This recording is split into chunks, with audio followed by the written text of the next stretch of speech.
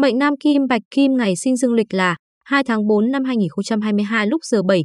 Ngày sinh âm lịch là 2 tháng 3 năm 2022 lúc giờ thìn sinh vào năm nhâm dần có ngũ hành là Kim Bạch Kim. Tháng Giáp Thìn có ngũ hành là Phúc Đăng Hỏa ngày Ất Dậu có ngũ hành là Tuyền Trung Thủy giờ Canh Thìn có ngũ hành là Bạch Lạp Kim với. Năm tháng ngày giờ trên sẽ hình thành nên tỷ lệ ngũ hành ban đầu F0 là tỷ lệ ngũ hành được hình thành tại thời điểm sinh ra là Mộc 33% là hơi nhiều, Hỏa 21% là cân đối, Thổ 8,3% là ít, Kim 22,6% là cân đối, Thủy là 15,1% là ít. Tỷ lệ ngũ hành ban đầu cho biết vận trình trong cuộc đời diễn ra như thế nào. Ngoài ra còn cho biết tính cách sẽ hình thành ban đầu. Tỷ lệ ngũ hành ban đầu giúp suy ra tỷ lệ ngũ hành hiện tại được tích lũy qua từng năm.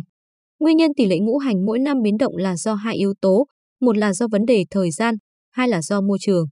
Tính cách thông qua tỷ lệ ngũ hành ban đầu của mệnh kim bạch kim có nhiều ngũ hành mộc là mộc chủ về nhân, tính thẳng, tình ôn hòa. Người mộc thịnh thì tầm vóc cao, tay chân dài, phong cách đẹp, khóe miệng tươi, sắc mặt trắng xanh, có lòng bác ái thương người, thanh cao khẳng khái, chất phác, không giả dối. Người mộc duy thì vóc người gầy, tóc thưa, tính cách hẹp hòi, đố kỵ, bất nhân. Người mà mộc khí tử tuyệt thì lông mày không ngay ngắn, cổ dài, yết hầu lồi, da thịt khô, hay lừa dối, biển lận. Mệnh này nên bổ sung các ngũ hành nào quá ít giảm bớt các ngũ hành quá nhiều. Đây là một bảng rất quan trọng nói về 10 ngũ hành ứng với 10 vấn đề thực tế của cuộc sống được gọi là 10 thần. Khi nắm rõ được bản này thì bạn mới có thể hiểu và thay đổi bản mệnh của chính mình bằng phương pháp phong thủy cải vận. Bản 10 thần giúp bạn nhận biết được công việc, phương hướng, màu sắc, thời trang, bạn đang chọn là có ngũ hành nào. Ngũ hành đó có lợi cho điều gì trong cuộc sống nên tăng giảm như thế nào cho phù hợp với từng thời điểm. Nam sinh năm nhâm dần là mệnh kim bạch kim ngũ hành mộc đại diện cho lĩnh vực về hôn nhân và tiền tài, ngũ hành hỏa đại diện cho pháp luật và công danh. Ngũ hành thổ đại diện cho mẹ và cha, ngũ hành kim đại diện cho sức khỏe và anh em, ngũ hành thủy đại diện cho con cái. Dụng thần được hiểu là một hay một nhóm ngũ hành giúp cho bản mệnh được cân bằng theo từng thời điểm khác nhau. Tùy theo vận mệnh của mỗi người tại mỗi thời điểm khác nhau mà sử dụng dụng thần cho phù hợp. Dụng thần có hai dạng là tự nhiên theo thời gian hoặc chủ động bổ sung môi trường bằng phong thủy cải vận.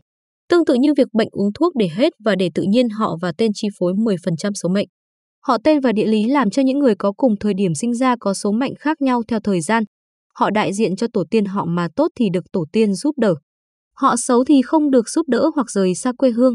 Họ mà trung bình thì được nhờ tổ tiên và tổ tiên cũng được nhờ mình. Họ Giang đối với mệnh này là trung bình ngoài ra họ Giang ý nghĩa là dòng sông, thường chỉ những điều cao cả, lớn lao. Họ Giang có nghĩa vừa êm đềm, vừa mạnh mẽ như cuộc đời con người có lúc thăng có lúc trầm ngũ hành thuộc thủy sinh ra mộc, được kim tương sinh nhưng kỵ với hỏa và khác với thổ. Tên lót đại diện cho anh em bạn bè tên lót mà tốt thì được nhờ anh em bạn ngược lại thì bị anh em bạn bè tranh đoạt và lợi dụng. Tên quốc đối với mệnh này là tốt ngoài ra tên quốc ý nghĩa là đất nước, là quốc gia, dân tộc, mang ý nghĩa to lớn, nhằm gửi gắm những điều cao cả, lớn lao nên thường dùng đặt tên cho con trai để hy vọng mai sau có thể làm nên việc lớn. Ngũ hành thuộc thổ sinh ra kim, được hỏa tương sinh nhưng kỵ với thủy và khắc với mộc. Tên đại diện cho bản thân và thành tựu tên cũng như khát vọng của cha mẹ. Tên mà tốt thì có được thành tựu. Tên xấu thì vất vả gian nan. Nên chọn các tên phù hợp để có số mệnh tốt hơn tên bình đối với mệnh này là trung bình ngoài ra tên bình ý nghĩa là bình an, yên ổn, thanh bình. Cha mẹ đặt tên con là Bình ý muốn gửi gắm mong muốn sau này cuộc đời bình an và may mắn. Ngũ hành thuộc thủy sinh ra mộc, được kim tương sinh nhưng kỵ với hỏa và khác với thổ tên phúc đối với mệnh này là trung bình ngoài ra tên phúc ý nghĩa là người hiểu biết, gặp nhiều may trong cuộc sống. Phú quý, an khang ngũ hành thuộc thủy sinh ra mộc, được kim tương sinh nhưng kỵ với hỏa và khác với thổ tên toàn đối với mệnh này là tốt ngoài ra tên toàn ý nghĩa là đầy đủ, trọn vẹn, không thiếu sót. Tên Toàn nói lên mong muốn con sẽ luôn nhận được những niềm vui, may mắn một cách trọn vẹn, đầy đủ nhất. Mọi thành công, hạnh phúc cũng sẽ hoàn hảo. Ngoài ra, Toàn còn có ý nghĩa là mong mẹ tròn con vuông, sức khỏe dồi dào ngũ hành thuộc thổ sinh ra kim, được hỏa tương sinh nhưng kỵ với thủy và khắc với mộc. Tên gợi ý nên chọn các tên có nhiều